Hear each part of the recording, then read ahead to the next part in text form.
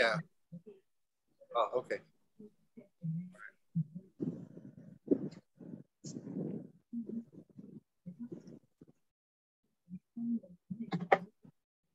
Uh, okay, uh, so yeah, this is the second part of the two-part um, series we're doing about presentation, about standing up and speaking. Last week I talked more about how we present ourselves um, in general in life and how we present ourselves and give an image of ourselves in speaking and in in a lot of things we do. And I also talked a bit about how um, how to stop yourself having panic attacks and how to um, calm yourself down when you're giving speeches, etc.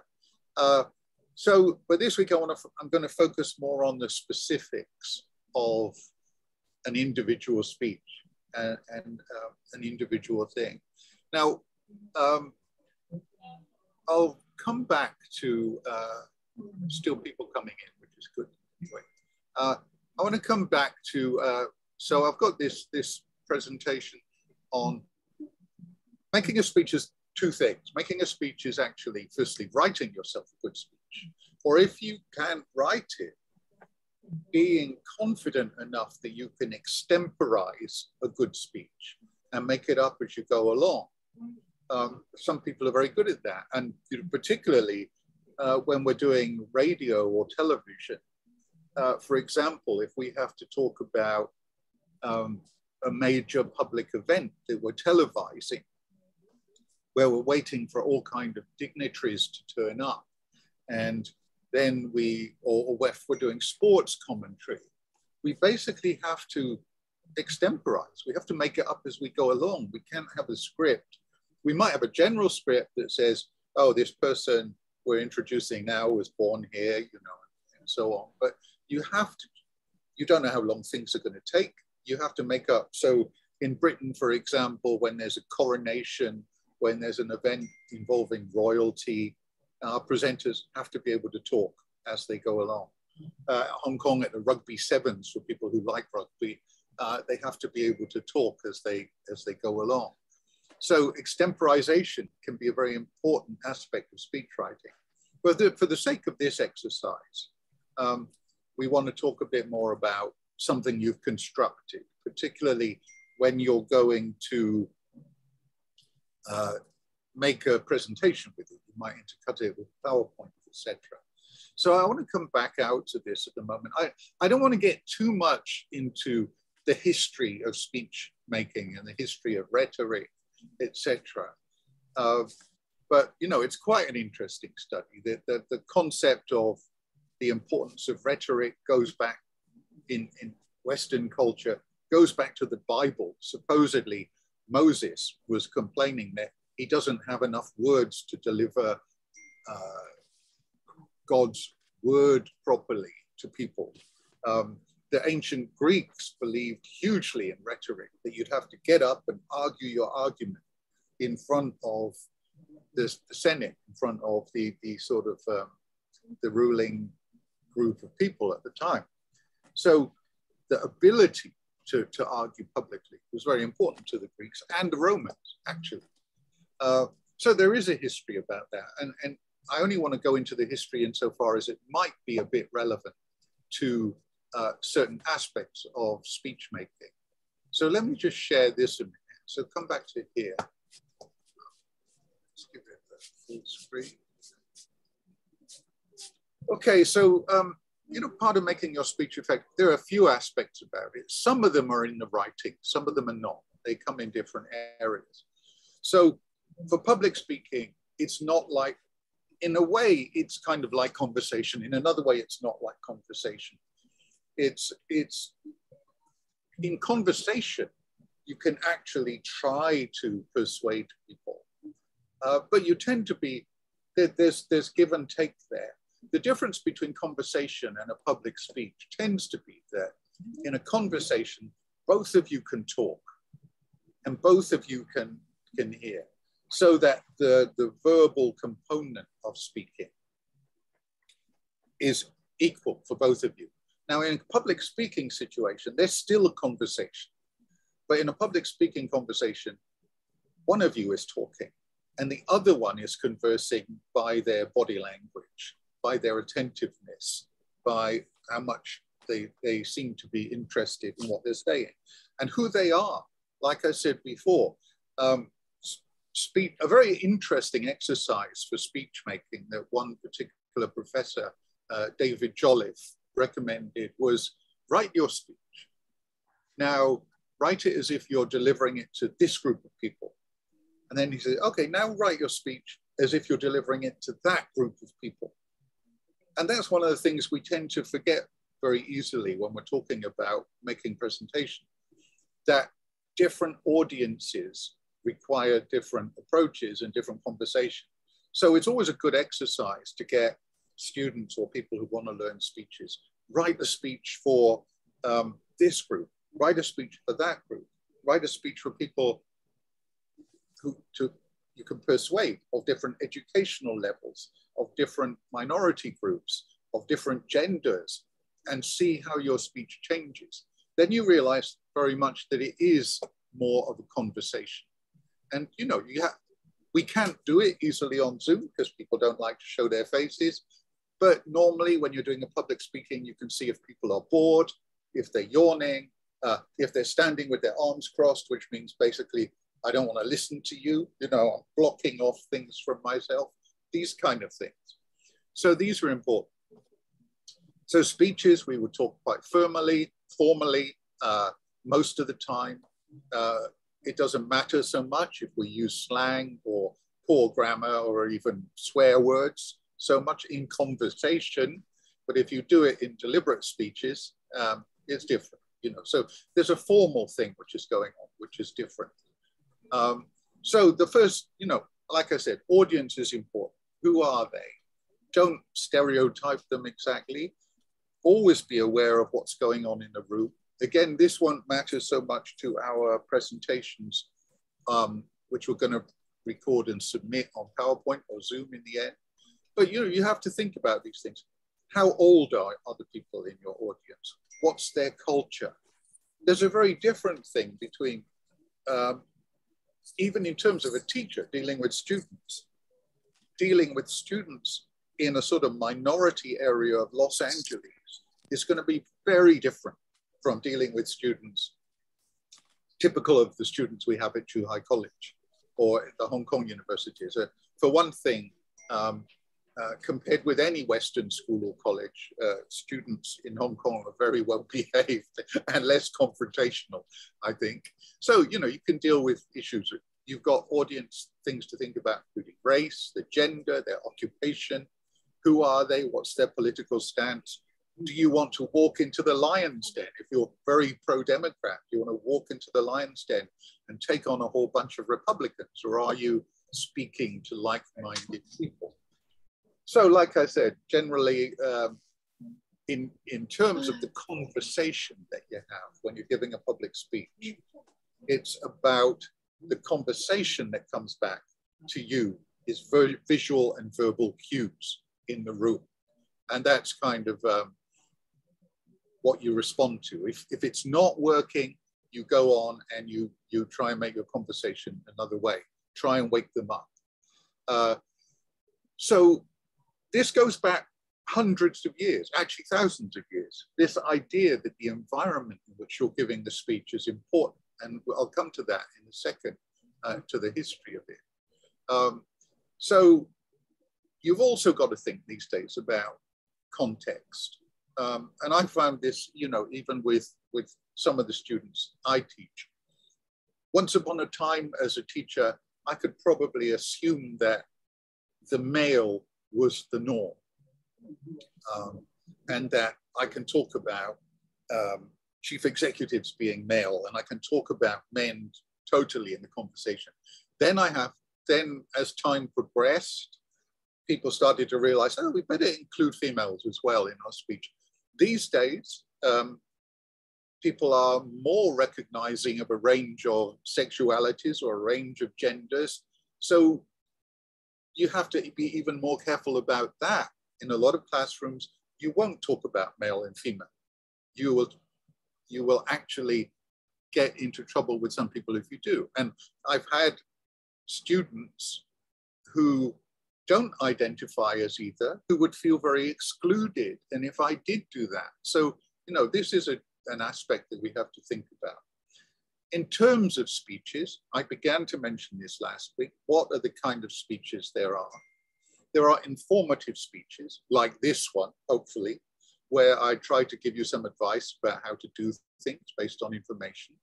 There are persuasive speeches, like a politician might give. We're having um, local elections in the UK right now, so a lot of people are giving, um, they're trying to give persuasive speeches, trying to persuade people. So you find these two things, um, you know, they're, they're not exactly the same. And then there's special occasion speeches. Now, this, now, any of these speeches, probably not informative speeches, but if I'm trying to give a persuasive speech, a political speech, or I'm trying to give a special occasion speech, I'm more likely to use emotion and to use feeling in my speech, to use uh, to use the old Latin word pathos. So this is the, the sort of important thing. So informative speeches can be about objects, events, concepts, um, and that's in a way, that's kind of easy to do. Persuasive speeches, I'm trying to persuade an audience to my point of view. Now, of course, if I'm trying to persuade you, I'll give you information as well. But, but it's a kind of different balance in terms of the thing. Ethos, and when I'm trying to give a persuasive speech, the idea of ethos is important. And I'll come back to ethos a bit more later ethos is credibility. Ethos is ethics. Ethos is morality. So one, one issue is, is my speech credible? Is it ethical? Is it moral? The other issue is, as soon as I stand in front of you, or based on your past experience of me, do you believe that I am critical? Do you believe that I'm moral? Do you believe that I'm ethical? within British politics at the moment, for example, the big problem that the Prime Minister is having is nobody believes him anymore because he's been caught out so many times. And again, this is not even a political thing. This is actually times when this person has been caught telling untruths. When you, you get into this habit of telling untruths, people don't believe you have ethos or credibility. So Informative speech, we're talk, trying to inform you about a specific topic. Persuasive, we want you to go and do something. A persuasive speech is more likely to have a call to action at the end. We'd actually be trying to get you to sign up, give money to charity, take part in a protest, run for office, vote, whatever. That's the call to action. So that's kind of more of the important aspects of this. Special occasion speeches, uh, yeah, you might, it might be a wedding, like I said last week, it might be a christening, it might be a funeral. You actually have to decide which of these things you're going to do, and it can be emotional. Uh, I mean, funeral speeches can be uh, emotional too. Funeral speeches uh, can be informative too. I, have seen a lot of funeral speeches in the UK where basically it's been like a recap of the person's life, a celebration of the person's life. So, you know, these things are all come about there. So I said rhetoric's got a long history, and I'm not going to go into it in a lot of detail, but Plato called rhetoric the art of enchanting the soul, winning people over by talking to them. Aristotle calls, calls it um, the faculty of discovering all the available means of persuasion. Cicero says that rhetoric, speech making, is, is comprised of five less, lesser arts inventio, dispositio, elocution. So this is invention, disposition, how you present yourself, elocution, memory, and how you pronounce things, how you actually say them, things. Rhetoric is speech design. Uh, Quintilian just said, rhetoric is the art of speaking well, or good man, let's say person, good person speaking well. Um, again, this is why I say your presentation of yourself is important. If people are going to believe you're a good person speaking well, they have to believe you're a good person in the first place. So that becomes a sort of issue there. Um, Francis Bacon says, you know, apply reason to imagination to, to move the will better. So now this, um, again, this looks, again, I'm not asking anybody to remember this or go into this, but, but it's one of the things I want to talk about here because we come back to it later. This looks very theoretical. This is a Professor David Jolliffe who worked out this framework for um, rhetoric and giving a speech. So in his framework, these things, the rhetorical situation are exigent. That means, why are you giving this speech? What's the purpose? What's the function? Why are we here? The second one, like I just said, is audience. Who are the audience? Why are the audience uh, important? Like I said, if, if it's a different form of audience, do it in a different way. The next one is purpose. Oh, let me go back. Next one is purpose. What's the purpose of my speech? Is it informative? Is it uh, persuasive? Now, then below that, there are different things you can appeal to within speech. Logos is appealing to logic. So that's an informative speech. That's one where I'm using logical argument. Ethos is uh, appealing to morality.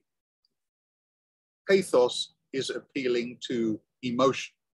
So if I want to inflame racist feelings, you will find that people who want to inflame racist feelings, for example, will use pathos a lot.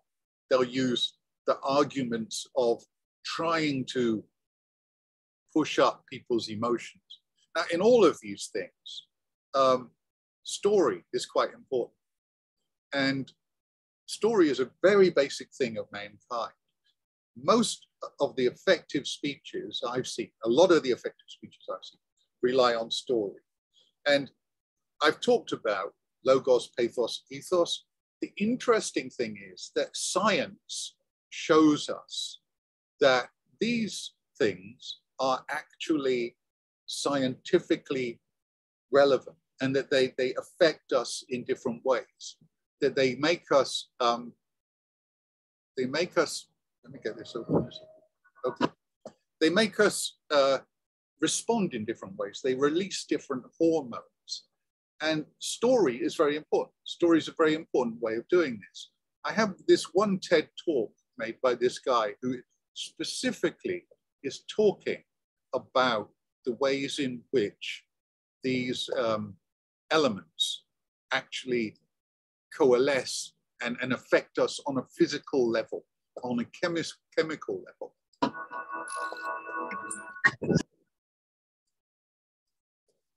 In 2009, a man, a journalist by the name Rob Walker, wanted to find out is, is storytelling really the most powerful tool of all? And in order to do this, he went on his computer and he bought 200 objects from eBay. And the average price of the objects were about $1. He then called 200 authors and he asked them, hey, would you like to be part of the significant object study? Which means that I would like you to write a story to one of the objects. And 200 authors said yes. So there he had 200 objects, he had 200 stories, and I assume that it was with nail biting anticipation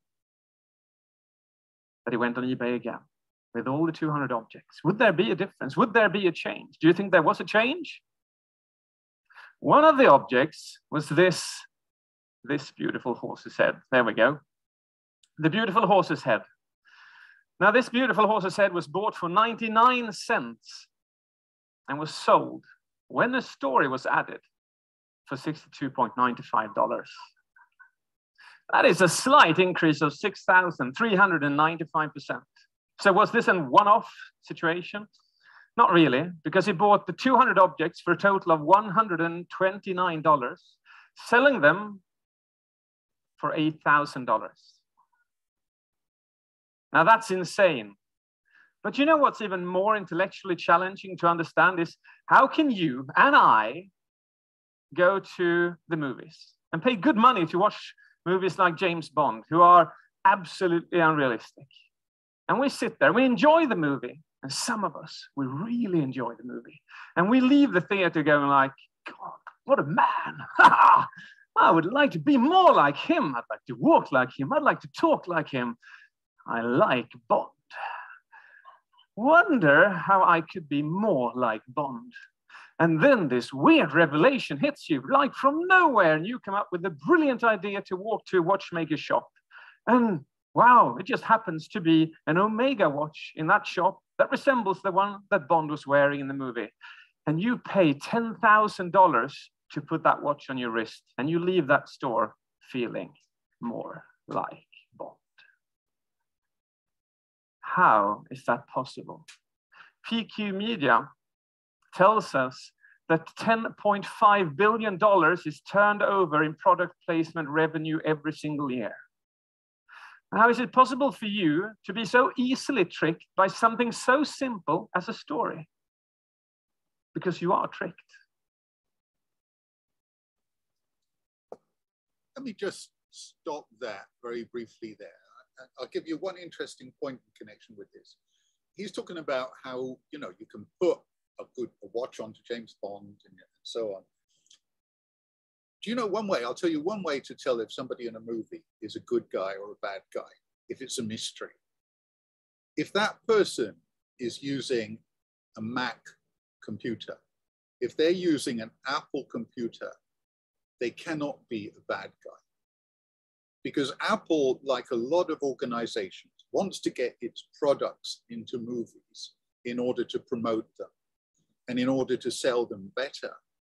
And it will not allow any bad guy in any Hollywood movie to use an Apple product that it's sponsored.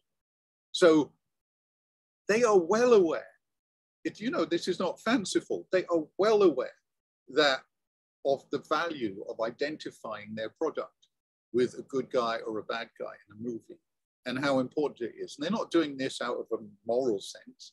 They're doing it out of a simple sense of um, self-preservation and making money and making profit. So it, you know, this is one of the one of the things to bear in mind. I may have spoiled a whole load of movies for you there, but but basically, when you have um, this is this is a deliberate principle of, of Apple, or at least was. So let's get back to uh, David Phillips here.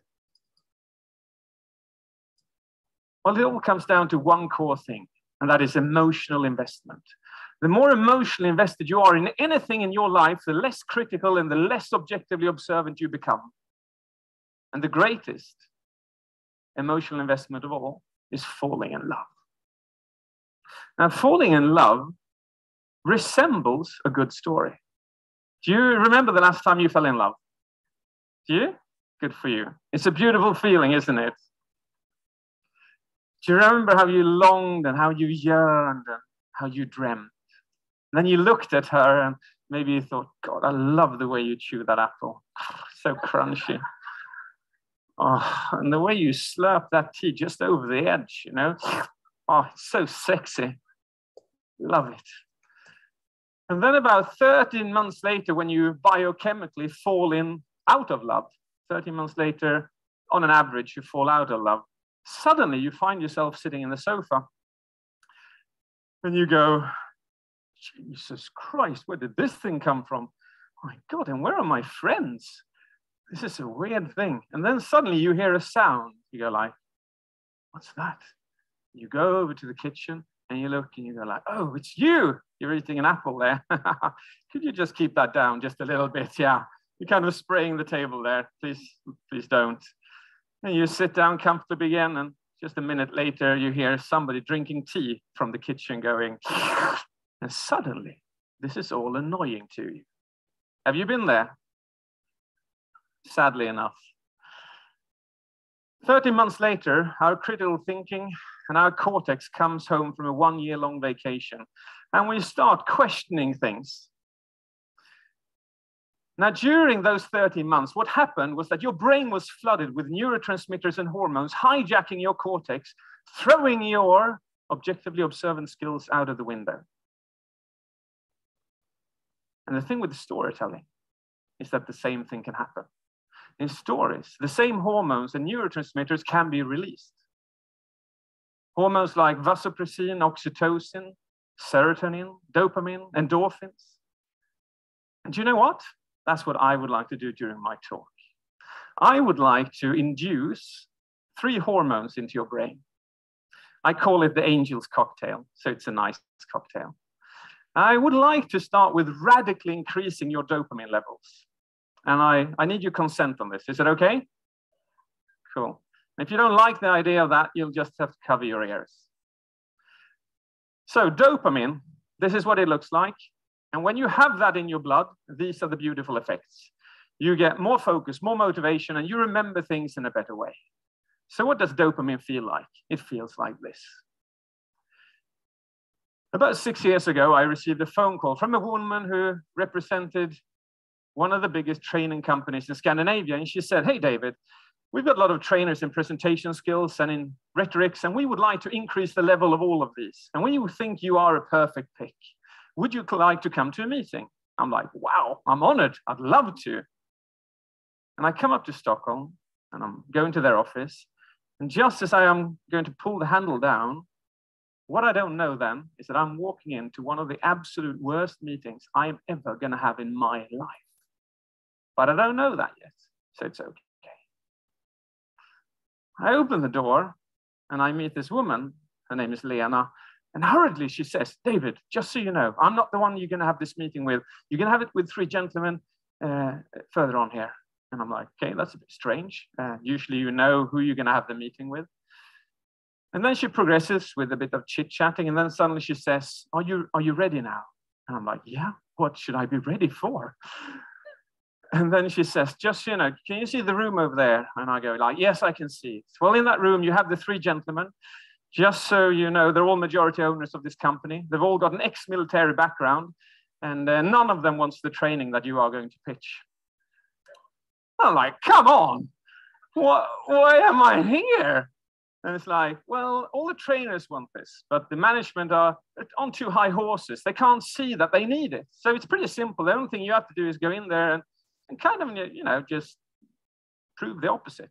I'm like, yeah, that sounds simple, doesn't it? And I can remember myself. I'm walking towards this office. My sweat is coming down my palms. My heart is racing.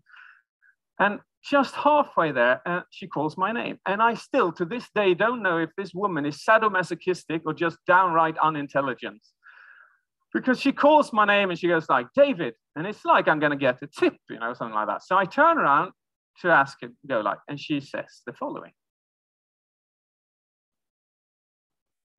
If I don't tell you what she says there, is that annoying?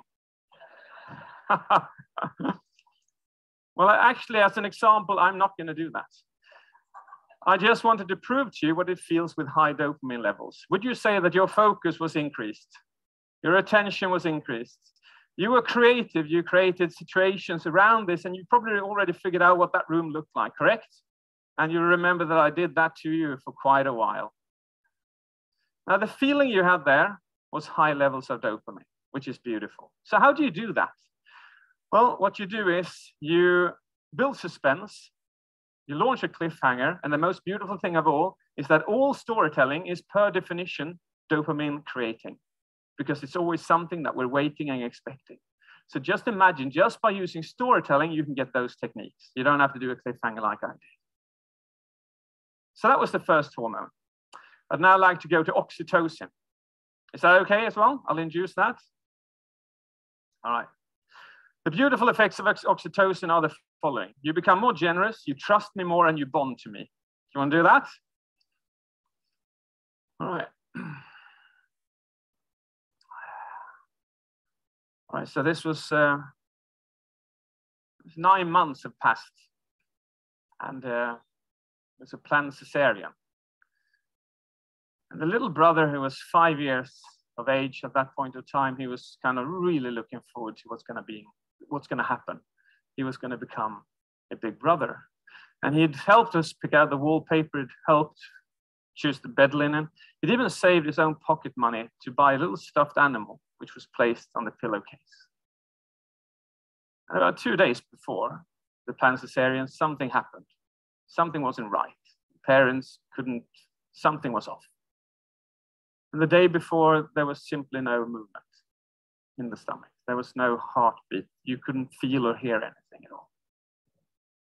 So the parents were rushed into hospital, lay down on a bed, and doctor comes in, checks the stomach, looks at me, and sees what I see, and that is that the heart is no longer beating this child. This was me nine years ago. It's the worst thing I've ever experienced in my entire life. And I don't know, do you, can you just imagine what you have to tell a five, how you tell that to a five-year-old? Can you just imagine that? Because he's home there waiting, anticipation for this coming event. But it won't happen. So part of me, and to handle that, I talk about it. And I've talked to you about it now. And now you got higher levels of oxytocin in your blood, whether you want it or not, which means that you feel more human. You're bonding to me and you feel more relaxed. So, how do you do that? In storytelling, you create empathy. So, whatever character you build, you create empathy for that character. And oxytocin is the most beautiful hormone of all because you feel human. Now, the third and last hormone is endorphins, and I would like to show you a woman which we can say has overdosed on endorphins. Let's just look what that looks like. Oh, we'll go here. To inspire and to respond. Are you speaking or listening?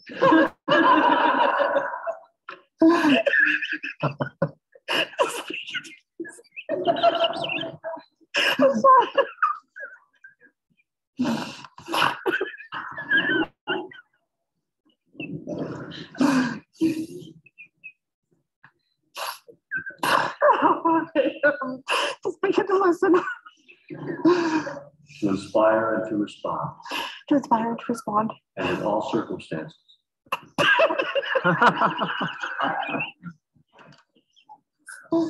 And in all circumstances. of our life together.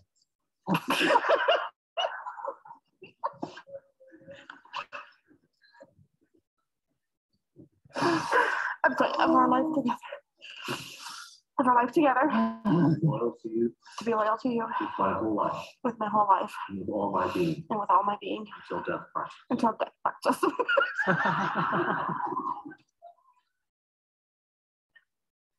oh, the timing of that is so lousy, isn't it? So, how do you create endorphins? Well, you make people laugh. What happens then is that they become more creative, they become more relaxed, and again, they become more focused, which is beautiful to have. Now, all these three hormones that I've induced into your brain now is what I call the angel's cocktail. But there is an opposite of that cocktail, and I call that the devil's cocktail. And the devil's cocktail has high levels of cortisol and adrenaline, and they feel like this. Ah! Sorry to do that to you. So high levels of cortisol and adrenaline. And the problem with that is that if you've got really high concentrations, which I didn't give you there, but when you've got high concentrations, look at this. Is this something that you want to have the people you talk to have in their blood, in their system? Hmm. Now, in our stressful work lives, in our stressful lives, many times when you present, when you communicate, when you deliver meetings, which one do you think they've drunk most of? The devil's cocktail or the angel's cocktail? Most commonly, the devil's cocktail. And the problem then is that you've got all this to work against. But all of that can change today. All of that can change by you starting to use something I call functional storytelling. And functional storytelling means that you do these three things. One, you have to understand that you don't have to be a bearded old man in front of a fireplace with a dark voice in order to be a great storyteller. In my experience, when I train people, everybody is a good storyteller from birth. The only problem is that you don't believe in it. The second thing is this write down your stories. You'll notice that you have three to four times more stories in your life than you normally or than you thought that you had. Three, index those stories. Which of your stories make people laugh, i.e., create endorphins? Which makes people feel empathy, i.e., oxytocin? And the next time you go into a meeting, you pick the story you want to release the hormone you wish in the person that you're talking to to get exactly the desired effects that you want. And that's a beautiful thing. Now, you know me, some of you know me as Mr. Death by PowerPoint. And uh, I want to round off with making my point very clear. And my point is this 100,000 years ago, we started developing our language. It's sound to say that we started using storytelling to transfer knowledge from generation to generation. 27,000 years ago, we started transferring knowledge from generation to generation through cave paintings. 3,500 years ago, we started transferring knowledge from generation to generation through text. 28 years ago, PowerPoint was born. Which one do you think our brain is mostly adapted to? Thank you very much.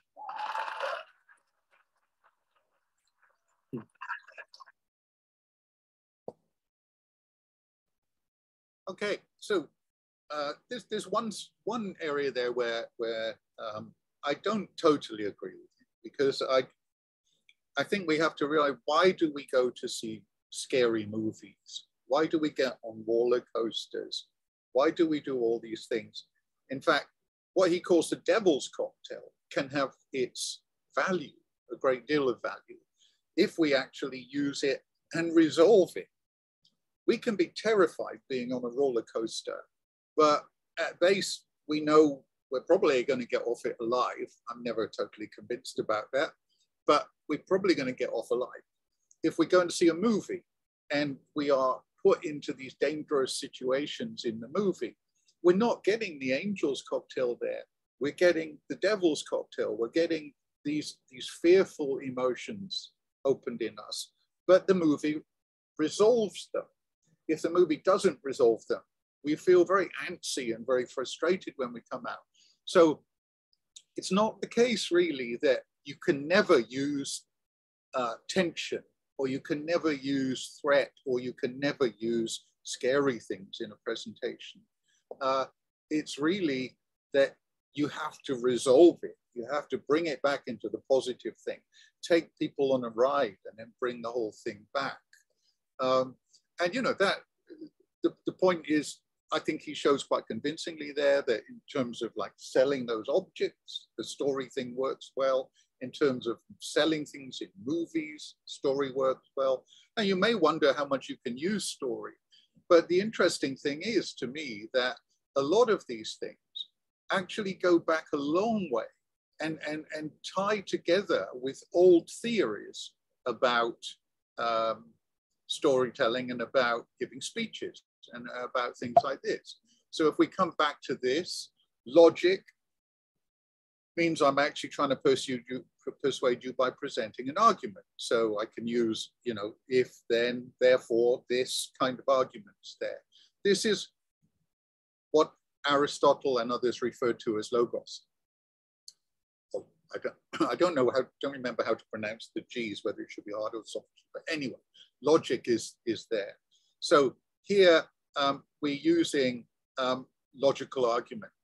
Now, the, the scary, scary thing is, the worrying thing is in a way that, hang on, let me come,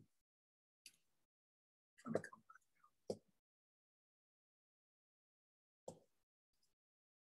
The scary thing is in a way that logic, um, logic can be countermanded by pathos, by emotion. Logically, we might actually say that the um, that racism is bad. But if I use pathos and try to convince you that all this minority group is harmful to you and damaging to you and tell you stories about this, then I can countermand the logic. 16, and you know, one of the things working in television, one of the things we know is that um, using emotion can be very dangerous. 60 Minutes Plus years ago did a story about this guy white person in South Africa who'd gone out into the city square with assault rifles and everything and just shot one black person after another for no reason. He just stood there killing black people. And the story 60 Minutes Plus was telling was that this guy had just been pardoned and released from prison despite murdering many people. And you're looking at, and so they interviewed uh, relatives of the people who'd been shot.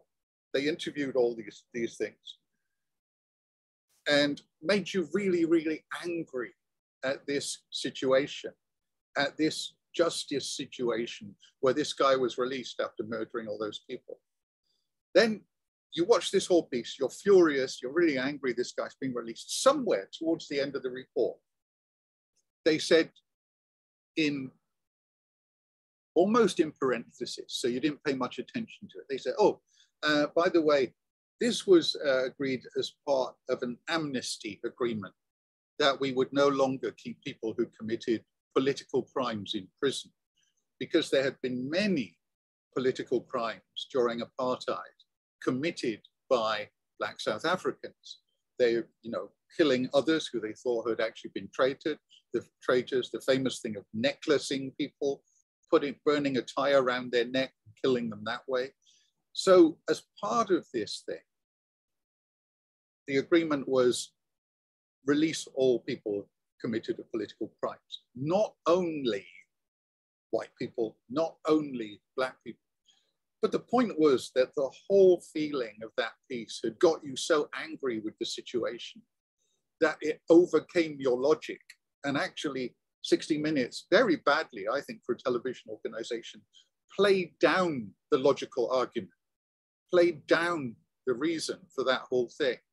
And that's actually um, you know, that's a danger with television. It's easier, and, and to, to any mass media, um, I sometimes think, you know, we feel we're living in a post-truth age in some ways, because emotion does get to trump logic and trump sensibility and trump ethos. So, you know, logic is um, one of the things which we should appeal to, and which, which is one of the more responsible things we can actually be um, trying to push as, as presenters or as, as speakers. So that's one thing. Um, with logic, you have to be logical. You know, you consider this. Now, ethos is an attempt to persuade on moral grounds. This is ethical. This is right. This is good. This is the, the. Now, ethos depends on you believing I'm ethical as a speaker or on anyone believing you're ethical as a speaker. That's important. And then there's pathos, which I've talked about. Um, and you know, in, in my classroom sometime, I, I used to take care of lots of street cats. Um, and many of them we rescued, many of them we found home, some of them had died, you know, and in the classroom, I've told the stories about these things.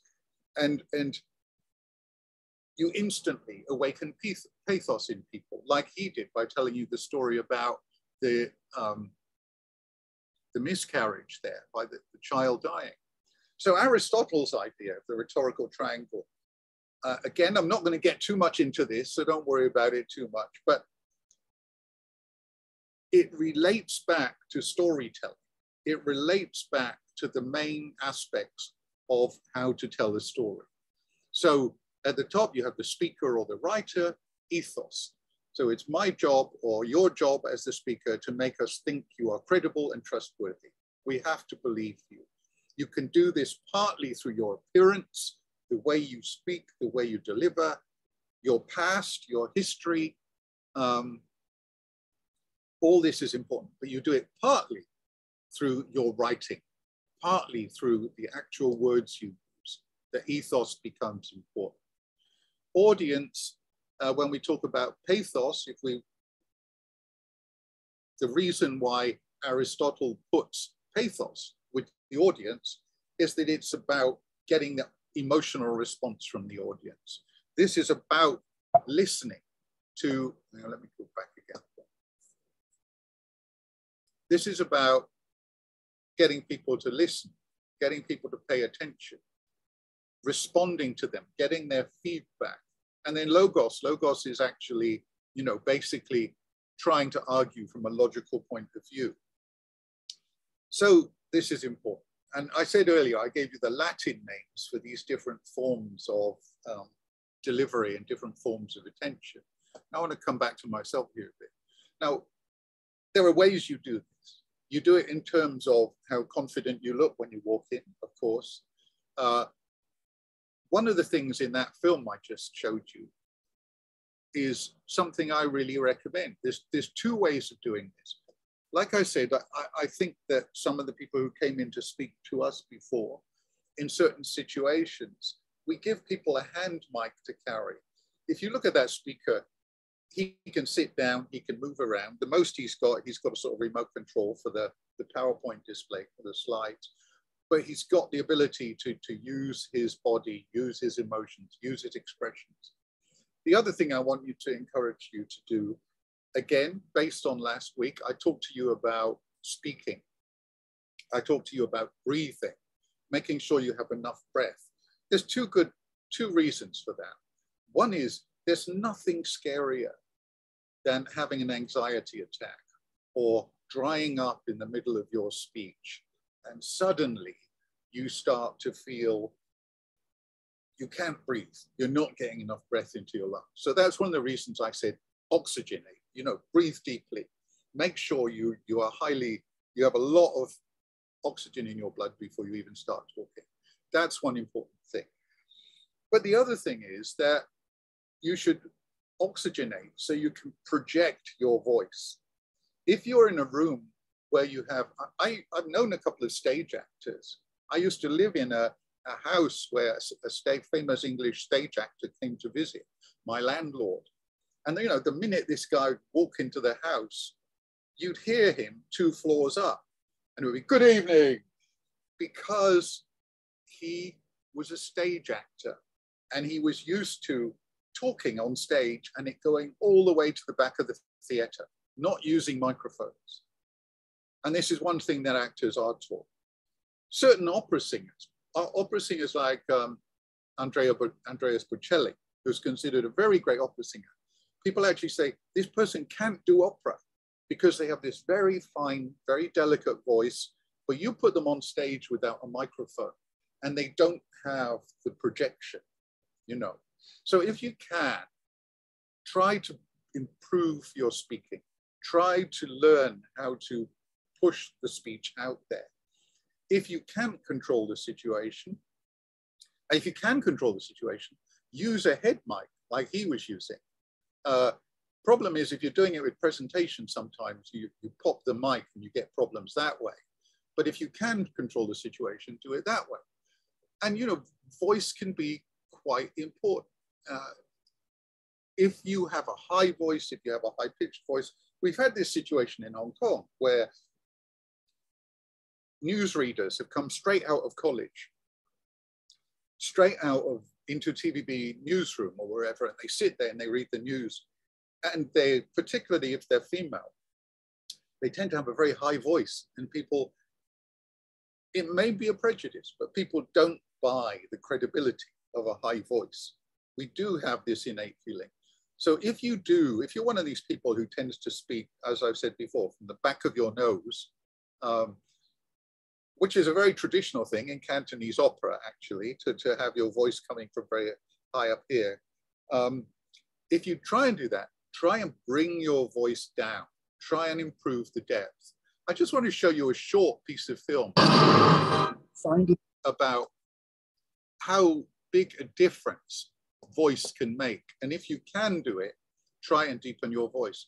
Now, I've, you might be dubious about how possible this is, but it is actually quite possible. So take a look at this. In the right voice for Darth Vader was another challenge. And action! Lucas had never intended to use the on-set vocal performance of David Prowse. Start tearing the ship apart piece by piece until you find those tapes. Find the passengers in this vessel. I want them alive. I can still hear David Prowse's accent in the Darth Vader mask muffled because he would do the real dialogue. He's trying to curse Carrie Fisher or something. You. know what you're talking about. I'm a member of the Imperial Senate on a diplomatic. You are part of the Rebel Alliance and a traitor. Take her away. It was hilarious and terrifying at the same time because we didn't know what Darth sounded like. That was the first time we heard him. We're like, is that it? Is it going to be some Scottish guy or what is this?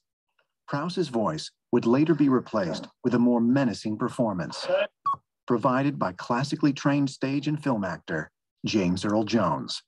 George had hired David Prowse, but he said he wanted a so-called darker voice, and not not in terms of ethnic, but in terms of um, timbre. And the rumor is that he thought of Orson Welles, uh, and then probably thought that Orson might be too recognizable. So what he ends up is picking a, a voice that was born in Mississippi, raised in Michigan, and was a stutterer. And uh, that happened to be my voice. I want to know what happened to the plans they sent you. I don't know what you're talking about. I'm a member of the Imperial Senate on a diplomatic mission to Alderaan. You are part of the Rebel Alliance and a traitor. Take it away. So the point is, you're not going to have to sound like Darth Vader to give a speech, and it's probably better if you don't. But but do try and give your voice power. You can do that with with breathing exercises. You can do it by trying to bring your voice down into your throat, uh, in, into your chest more. Um, and and if you can, you know, if you feel your voice is too trill, you know, when we're nervous, we all bring our voices up in pitch. Nobody who's relaxed takes their voice down to, you know, brings their voice up in pitch this way. Nobody who's nervous takes their voice down to a more relaxed, positive level. This is, this is a key thing. So when you think about presentation, think about how you look, how you present things, think about your voice. Now, one of some of the exercises I do with students, I do actually get students to do voice presentation only. And there was one, I'm not going to play the whole thing because it's quite long, but there was one person who, uh, a girl who was from France, who was in our college a few years ago. Um, My life.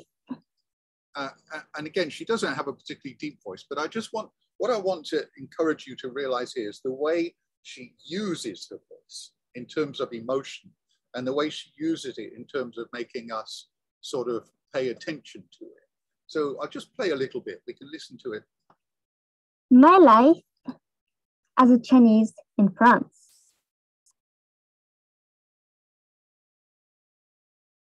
For those who don't know, I am a banana. I think a lot of people know this expression in Hong Kong as it is a cosmopolitan city. How about you? Do you know the meaning when I describe myself as a banana? Yes, my skin is yellow and I'm white in my heart, like a banana. I'm Chinese, but I was born and raised in Paris, in France. My topic today is to share my point of view of France as a French born foreigner. But I think this applies equally to any Asian who has grown up in a Western country. Right now in France, the Asian community is revolting against the insecurity, the theft, the violence, and the racism due to our skin color. Okay, I won't uh, play too much of that. It's a very good, well written, as a, one of the best that that I've I've had from the student. It sounds like a professional radio announcer. Okay, her voice is not powerful, but she's not actually telling the story from a powerful point of view. So she does tell us the story. There's a lot of stories in this piece. She tells us stories about encountering racism, about the kind of things people say in France. when it came to actually doing a presentation in front of the class, she told us how she'd been sexually assaulted on the underground metro in France, and she did that so emotionally and so powerfully. It was very hard to watch. Uh, she was very good at this. It's not only, though, about sounding like Darth Vader or having a deep voice or a full voice. It's about thinking about how do I use my voice in terms of sing song? How do I use it in terms of pause? How do I use it in terms of stressing words? And all of these issues are sort of quite um, key to, to delivery to doing it. So um, I'm not going to go through all these things. I, you know, invention, like I said, basically uh, what we're going to say, how, how we come out to do it. Um, so a five paragraph essay model that we were taught in schools very often is introduction, statement of fact, confirmation, refutation, conclusion. A lot of scientific papers that I edit and attempts to get money for proposals take this form. Your final thesis may take this form. This is quite a sort of traditional way of doing a convincing piece of, uh, of persuasion, basically. So style, how do I pronounce it? Again, I want to get on to other things, so I won't spend memory, speak extemporaneously. You know, the guy we just saw speaking, he doesn't have an auto cue. He doesn't have a script there. The worst thing to do, don't read your PowerPoint. That's really not a good thing to do at all. Uh, get it into your head so you can remember it. If you can't remember it, put a kind of auto cue or a caption up on your computer screen and read it, but don't look like you're reading it. You know, extemporization, make it sound like you believe in your words enough that you don't have to read them from a script. This is important. Delivery, again, I just talked about voice. Greeks believe to be a good speaker, you have to be a good person.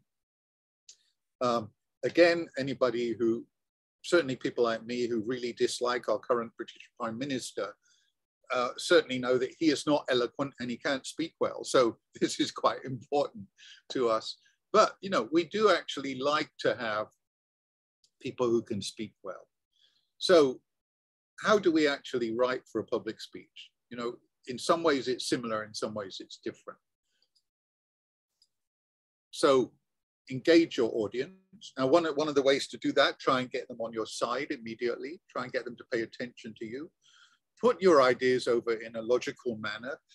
Although the, the thing we just saw, that speaker was using story quite a lot. In order to convince us of the value of speaking, of, of, of stories, he presented us that example of those objects that were bought and that sold more. That's logic. That's using logic to, to do it. That's using evidence to do it. Now, it's a story, and we wanted to hear the story and go all the way through. But logic actually was a convincing part of that, that argument that he was making. All right, so audience, like I said, think about your audience. One thing is unlike with reading a book, your audience cannot go back and read the sentence again if they don't get it. They, if you're presenting for radio or television or writing any kind of script like that, people have only got one chance to follow your sentence. You can't write a Henry James sentence which takes up a whole page of a book because nobody will remember the beginning by the time they get to the end. Your speech needs to be well organized and easy to understand. So again, I've said to you, there are these different forms of speeches. So feeling, when we're doing eulogies, wedding speeches, we want to encourage people's emotions.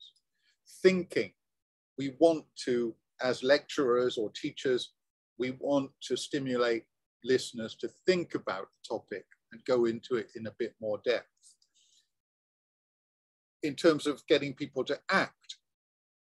We want to actually convince people to go out and take specific actions. Like I said, whether it's to vote, give money to charity or whatever. So how do we do that? We can actually use a few uh, simple writing tricks. One of them is uh, reversing things within con and contrasting things. This famous line from John F. Kennedy, ask not what your country can do for you, ask what you can do, I've lost a word here, for your country. People remember that line all these years later. You know, this it's now 60 years since he said this, and that line is still remembered. Uh, you can use metaphors if you can use them in, a not too contrived way. Uh, Kennedy's White House was called Camelot because people thought it, it was kind of Arthurian and idealistic. Ronald Reagan picked up on that and liked to refer to America as a shining city on the hill. It's got sort of religious overtones, you know, it makes all these things. Um, in the movie Say Anything, the valedictorian tells the students, you know, go back. Um, Robert De Niro gave a very good speech to um, Tisch School of Arts, where basically he says, congratulations, you've graduated, you know, you're doing really well. Now, um, now you're really messed up. he didn't use those words, but, but, you know, he shocked everybody by saying, now the hard times begin. So these th things can work too. Think about the structure. Have a structure that keeps people going. The guy we just saw, the Dennis Phillips speech, he basically has got the structure. I'm going to start with this. I'm going to tell you how uh, we make more money by using story, how we sell things by using story. I'm going to teach you what chemicals story arouses in people's body. Uh, don't go round in circles, particularly if you're only doing a five minute to 10 minute speech. You don't need to go round in, in circles. Uh, audiences do want to feel that you're going somewhere and you know it. With TED Talks, actually, there's a limit of 15 minutes for the talk. So that's kind of an important thing. If you're not sure about structure, if you think your story might be too unstructured, it's always a good idea um, if you think your audience's attention might wander, very often I would say, um, and even the scientific papers and the, the academic uh, attempts to raise funds, which I've read, people will say, well, you know, I have five points to make. And then they go, one, this, two, this, three, this. Now then the audience knows, okay, I've only got to listen to five and then the lecture's over. So it gives people a time line. It gives people a, a sense of how much there is to get through. Um, you know, I've got I've got a dozen things I want to say to you. Don't do a dozen. A dozen is not good, uh, but give people a structure. So first, second, third. Um, and again, if you're doing first, second, third, don't say firstly, second, and C. You know, keep the keep the things operating in the same way. Don't say firstly, second, thirdly. Keep them operating in the same way. I just like first, second, and third myself. But give people that structure. It's very helpful to people. They do actually feel a bit more confident if you give them that kind of structure. Think very clearly about what's necessary to put across. In the opening, you should come in and get people comfortable. Uh, you can do you know, you can actually, um, I, I found that uh, I've been to a couple of concerts and things which have been done by Indian artists. And one problem I found is that they are often opened by people who give long-winded speeches before the, the concert even talks. And they actually put people to sleep before it even starts. So again, think about your audience. Who is the audience? Why are they here? What do they want? How likely are they to accept me? How likely are they to believe me? So that's important. You can be personal. I mean, the Robert De Niro speech at the Tisch thing begins with him blowing his nose because he, he, he basically was uh, had an itchy nose when the thing started. You, people, people will give you time to blow your nose or to get their attention if you want to. Sometimes you need to repeat sometimes you do need to actually remind people. Um, I think that it's quite kind of important when you're thinking about repeating, think about what are the key things I want to push? What are the key phrases? What are the key themes? Don't repeat irrelevant stuff. don't repeat stuff which was your way of getting from A to B, but do repeat A and B and C. Try and keep coming back to these things. This is one thing which is quite a useful thing. Um, don't do it to the, try not to annoy people too much, but you want people to walk away with your speech or your ideas in their head. You know, this is important. Use transitions, use rhetorical questions. What does this mean? No, what, what do you think about this? Again, the speech we saw just now from the TED talk, he actually asks these rhetorical questions. So what do you think about that? So how do you feel now? He's not expecting a lecture back from everybody to explain it, but this is important. So here's the main point. Here's the lesson. This is a, what do we learn from that? You know, this is actually how to get people to perk up again and to pay attention a bit more. You can use props in theatrics. I can't really explain this here, but this guy called Stephen Covey was very good at this. He basically would uh, use a prop here. He would put rocks in it. He would put um, sand in it. He put pebbles in it, and then he would. It was to really illustrate how we waste time on unimportant things in life, and we don't actually focus on the big things first and then fill in with the unimportant things. So it was a much more sort of organized way of doing it. And end strong, you know, what's the, you might want to do a very quick short recap. You might want to decide, decide on this. Uh, you might want to sell, share a story about how this all worked for somebody and then um, don't, and then make a call to action if it's like a persuasive speech keep it quite short. Again, um, I've often been asked by companies, companies have said to me, uh, oh, can you make us a video to explain to people how our company works? And I said, sure. How long do you want it to be? Uh, 25 minutes. I said, who's going to watch your video for 25 minutes? Typically, these corporate videos, these company videos, they're played in venues like book fairs or art fairs or trade fairs, the audience is standing there on their feet. They don't have chairs, they don't have peanuts, they don't have popcorn, they don't have anything to distract them. They're not going to stand on their feet for you to give us everything you want to say about your company for 25 minutes.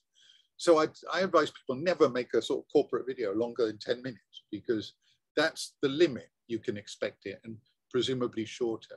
Again, the same thing can apply to speeches. Don't think a 25 minute speech is more worthwhile than a five minute speech. Definitely is not. Just fit everything in, you know. And it's a good discipline, you know. So again, your audience, what's in common with the audience, what's their age, what's their interests, what's their ethnicity, what's their gender, do they are they as knowledgeable as you about your topic? One of the things we always do in television when we're interviewing people, um, I've interviewed a heart surgeon before and I filmed him doing heart surgery. And you know, it's complicated. It's quite complicated how to describe and explain heart surgery. One of the things we always do as interviewers is to, is to say, for the benefit of my audience who may not know too much about medicine, how do you explain this? How can you explain this to a layman? And that's what it worked. Now, if I'm really giving a lecture to a group of heart surgeons, then I can use all the technical terms in the world. If I'm giving a lecture to a general audience, I don't get to use all those terms. Uh, or if I try, people won't pay attention. In the speech we just saw, you have to explain what is oxytocin? What are endorphins? What are these things? You can't assume people know them. So you need to think very, very much about your audience. Like I said, it's always a two-way conversation. Why are these people here? What, what are they expecting you to give them? How detailed do you expect it to be? You know, we often in, in, in television say, uh, use sometimes very childish ways of explaining things. You know, how much of this how, you know, so flick too far forward again. We, we sort of explain things by saying, that's three swimming pools worth of beer. You know, this is like a childish way, but in a way it explains abstract numbers to people. What tone should I use? Um, what might offend or alienate people? If you are a natural comedian, comedy is great. I love, I love good stand-up comedians. This is quite important, you know. So how do you hook people for an introduction? That's one of the things you can think about. Establish why your topic is important. Why are we doing this? Why are we trying to bring people in here? Um, bring in the point quite quickly. You know. Repeat again, I've said this, I've explained this all right already. Um, incorporate previews. Again, like I said, tell people I'm going to give you three points and then give them the three points. Uh, that enables them to get things, to, to pay attention to things. And we come back to the, the transitions again. Now, I've said to you, you know, you can, you, you might think is weird. How can I use comedy in some of these situations? I showed you a piece by James Acaster last week, who's one of my favorite British comedians. Now he wanted to talk, he wanted to talk about a long time ago. He wanted to talk about British colonialism in the past. And that's a serious topic. You want people to think seriously about um, colonialism if you're giving a speech like this. Now, he's not a political comedian. He, he does do things for laughs. But I want you to look at this, look at the story here, and look at how he uses comedy to make. You know, I think I think uh, that's a very. I like that piece quite a lot. I, I want to end though um, by uh, what you'll be doing for this thing, if you, if you take part in the competition, uh, you'll be producing a video uh, or and, and, a presentation. I want to show you an assignment that somebody actually did for one of our earlier presentations. And I think um, I'm not, it's kind of quite topical it's not using comedy.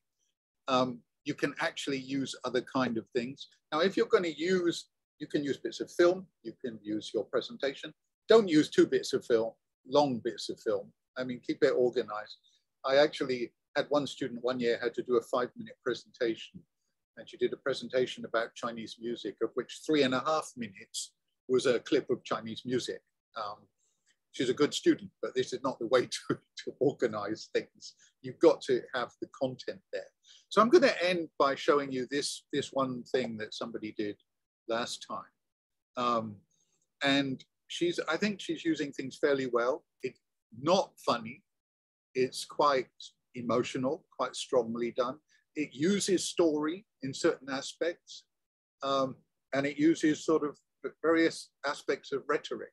Uh, so let's quickly look at this to, to wind up the, the lesson. Hello everyone, I'm Cassie. I am Chinese, but I am not a bias. Yesterday, I saw a video on the internet. It showed an Italian Chinese standing with mask and blindfold on the Italian street. A note next to him reads, I am not a bias. I am a human being. Please free me from prejudice. I was really shocked by that, and I want to know what's going on. And then I asked my friend study in the England the situation of Chinese student in there. She sent me a video and some message. She said, we are all afraid of wearing masks outdoor because people in the England cannot understand us. They think we wear masks because we have got coronavirus. They stay away from us and even shout China virus in the public. She also said a few days ago, her friend walked on the street.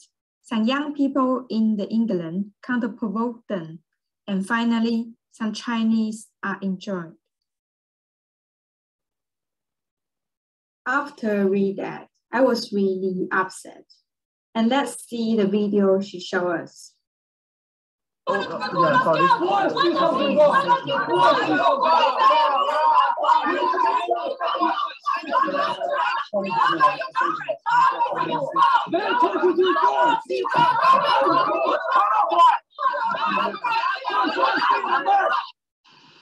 When I see this situation, I feel very upset.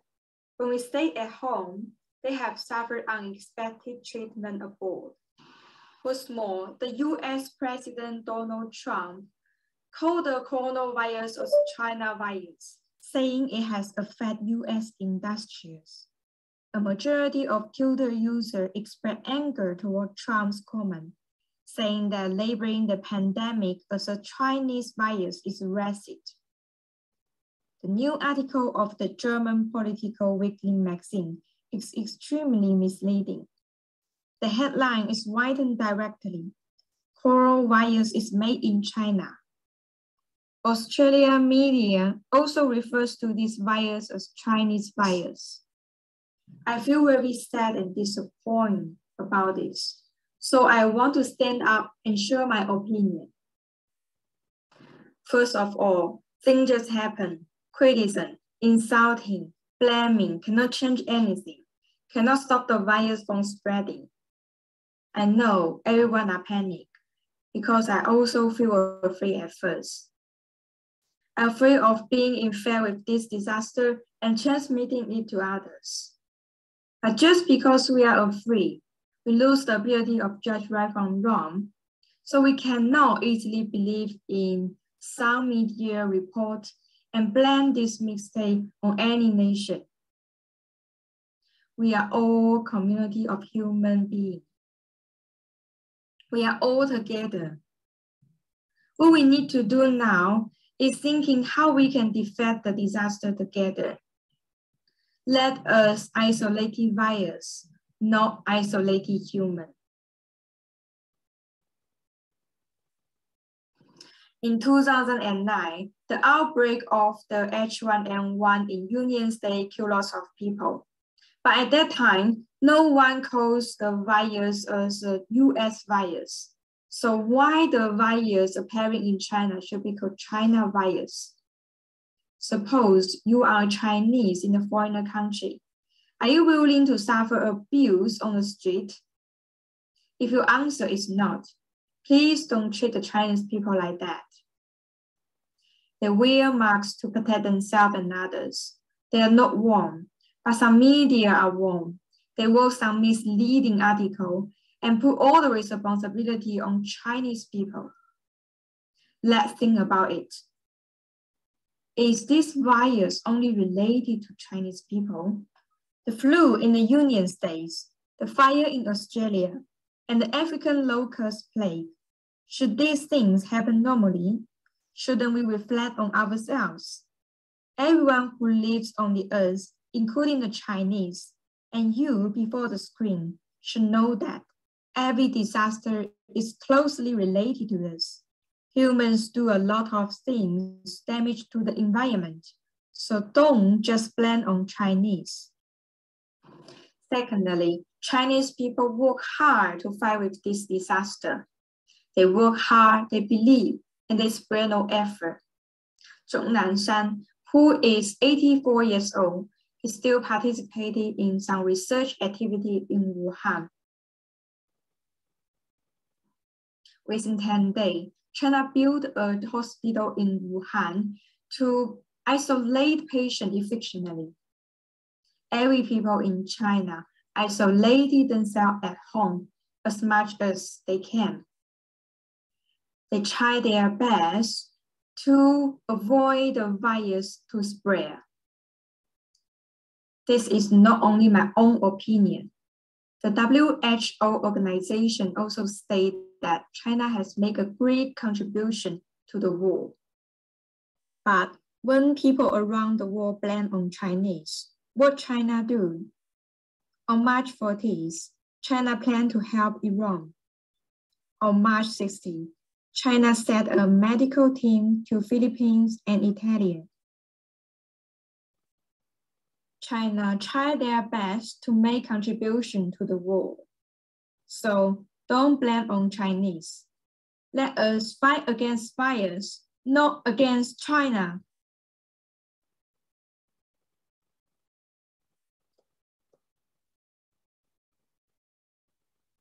Okay, uh, hang on, I'm trying to get my lost my screen now.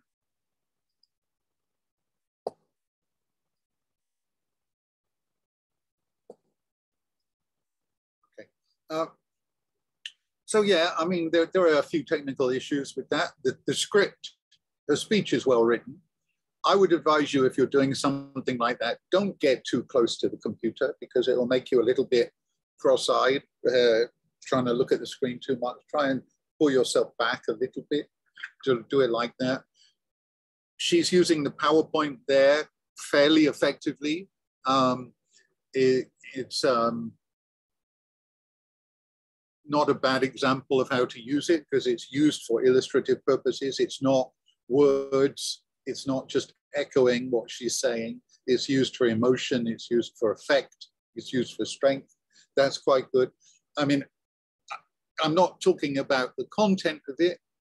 People may agree or disagree. I mean, from my point of view, those English thugs will pick on anybody for anything.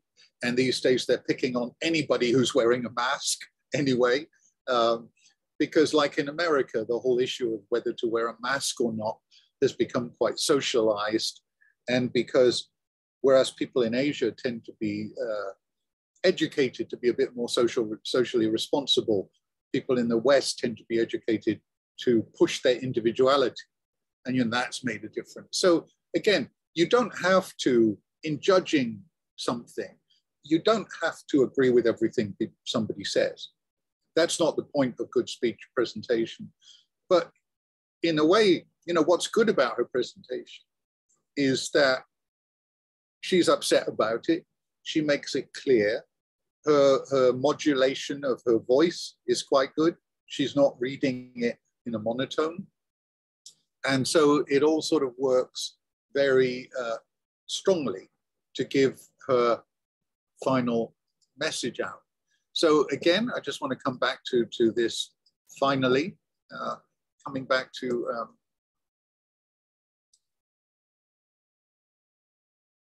the main things which I've talked about so far is to be memorable, have a structure, get, get off to a good start. People care a lot about the beginning and end of things. They'll forgive a little bit of uh, um, a sag in the middle as long as, as they can get those things. Strike the right tone. Like I said, it can be dramatic, like Cassie. it can be humorous, like, like James Acaster you can still get your point over. Be personal. Repeat yourself where you need to. You can include props. Don't overdo it. I find uh, there's this organization called Toastmasters International that encourages people to how to speak and how to improve things. And um, I think they overdo the props very often and they, they sort of try and make it a little bit too entertaining. So you start to think that it's not really a very effective uh, thing. So basically, uh, now I can pass on, if you actually want copies of the, the PowerPoint and, and, what I've sort of talked about here, uh, we've recorded the whole thing, so you can actually look back on it and see if there's any bits you've missed. Olivin can tell you a little bit more about what you need to do to enter the competition. Um, and uh, the, so the video of this is available, and if you want to, I can pass the PowerPoint on so that people can keep a copy of the PowerPoint to remind themselves. And I think that's about it for, for now. Um, so I don't know whether um, Dr. Lowe wants to talk to you and, and explain a bit more about the project.